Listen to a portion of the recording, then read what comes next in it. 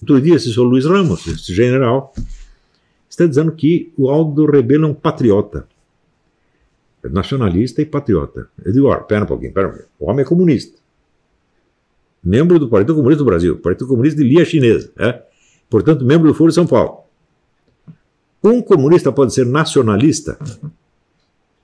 Você lê todos os teóricos do, do comunismo, eles são todos antinacionalistas.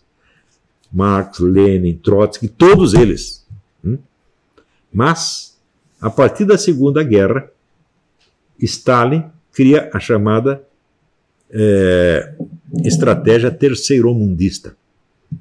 E na estratégia terceiromundista, o nacionalismo, sem deixar de ser odioso para o marxismo, pode ser usado dentro de uma guerra que já não é contra o capitalismo na escala nacional, mas contra o imperialismo na escala internacional.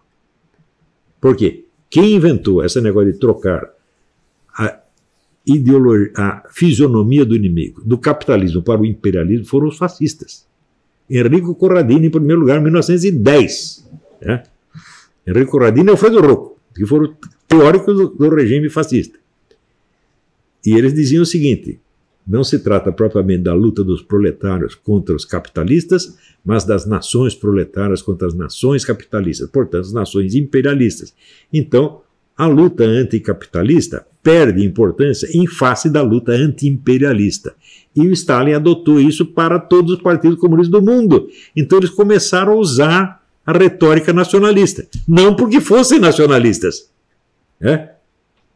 Porque é lógico que onde quer que você instale o comunismo, a nacionalidade se desfaz. Né? A União Soviética desfez mais nacionalismo e mais patriotismo do que qualquer outro, outra força no mundo. Por que, que era a Hungria ou a Tchecoslováquia sob domínio soviético? Era uma nação independente, mas nada. Então, acabou o nacionalismo ali, né? Então, o nacionalismo serviu para quê? Para jogar o país contra o imperialismo americano, ou francês ou inglês. A partir da hora que virou comunista, acabou seu nacionalismo. Será que o senhor Luiz Ramos não sabe disso? Não, a resposta é que não sabe. Ele não tem a menor ideia. Ele acredita que o outro é realmente nacionalista e patriota. Ou seja, pergunto eu, senhor Luiz Ramos, o senhor que é tão amigo do Aldo Rebelo, alguma vez teve a curiosidade de perguntar a ele de onde vinha o dinheiro do Foro de São Paulo? O Foro de São Paulo custa um dinheirão. Nunca ninguém investigou. E o senhor nem perguntou. Não quer saber. Quer dizer, os comunistas podem pegar o dinheiro que eles queiram, da fonte que eles desejam e gastar isso, não tem problema. O homem que está lá é um nacionalista, é um patriota. Que palhaçada é essa, general? Hã? O senhor tem que se arrepender disso aí, da sua leviandade, porque isso é coisa de gente leviana.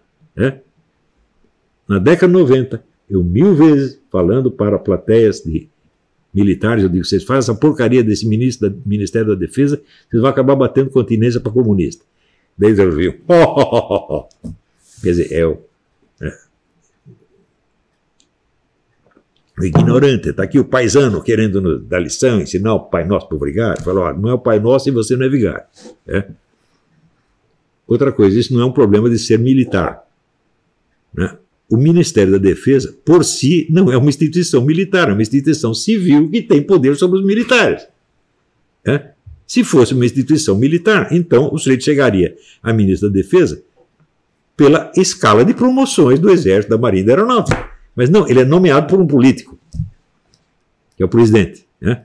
E vem, pode vir de fora. Quantos dos ministros da Defesa foram militares? Só agora parece que tem um.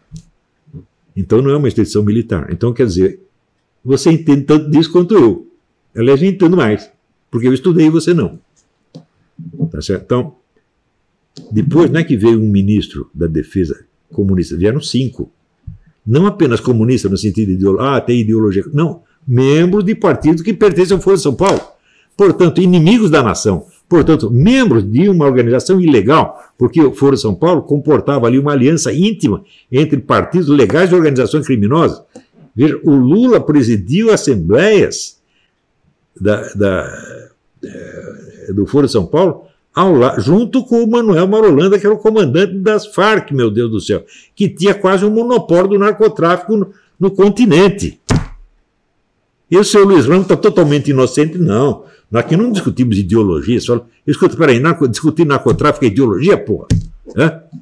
Além disso, se você é contra a ideologia, você alguma vez reclamou que o Aldo Rebelo tivesse uma ideologia? Você alguma vez incomodou? Não, você não pode ser marxista, você não pode ser ideológico, você tem que ser tecnocrático, pragmático, que nem nós. Tem que ser neutro. Alguma vez você disse isso para ele? Não. Você consente que o comunista tem a sua ideologia. Mas, se tem alguém contra o comunista, não quer que esse tenha ideologia. O direito a uma ideologia é monopólio dos comunistas. E você ajudou a montar isso, Luiz Ramos. Você foi um dos culpados disso. Um dos milhares de culpados, portanto a culpa não é toda sua. Mas você fez isso. Agora,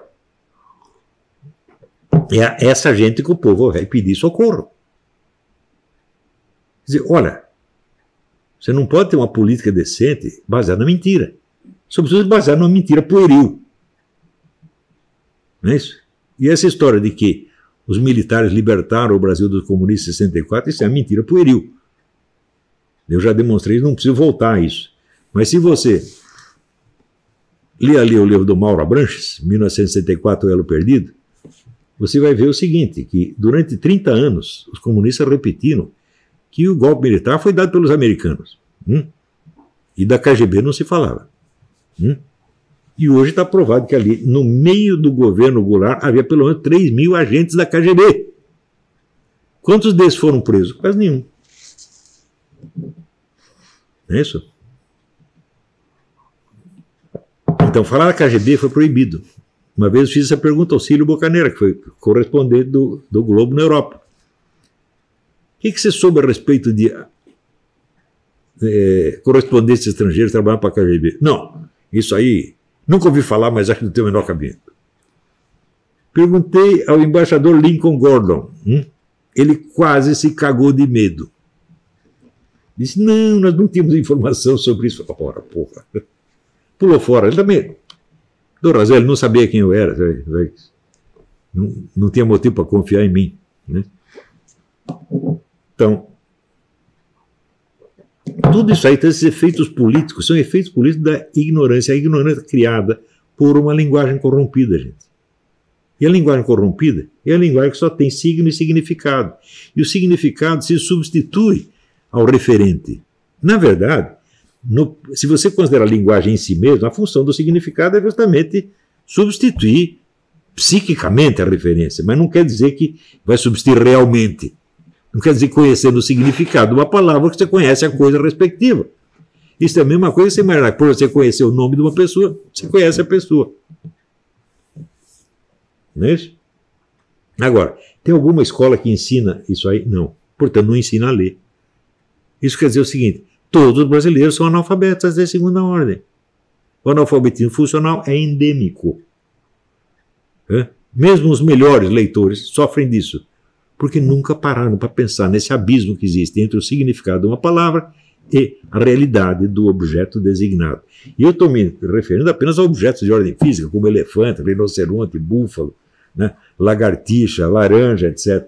Mas e se forem coisas mais complexas? como por exemplo democracia, é? ou inflação, ou mais-valia. É? Ah, meu filho, aí só quem conhece esses referentes é o estudioso especializado disso, mas ele só conhece esses referentes, o resto ele não conhece. Por exemplo, o menino lá da orientação marxista, ele sabe o que é mais-valia porque ele estudou marxismo. Mas como não estudou mais coisa nenhuma, tá certo? vai parar por ali mesmo. Então, este é outro problema brasileiro todo brasileiro de instrução superior acredita que a ciência que ele estudou é a ciência suprema e que ela tem jurisdição geral. Hum? O sujeito estudou física, então ele acha que a física pode resolver questões de musicologia, de sociologia, de psicologia, de medicina. Todos são assim. Não sabem sair do seu universo linguístico profissional. No dia, você lembra do debate com o Paulo Roberto Almeida? Né? Ele estudou relações internacionais. Tá Nas relações internacionais não existe o conceito de globalismo. Hum? Porque isto é. Como é que tem um conceito macro-histórico que escapa né, do âmbito dos estudos de um diplomata. Então ele não sabe que isso existe. Agora, Hoje é impossível qualquer pessoa com QI superior a 12 negar que existe o globalismo.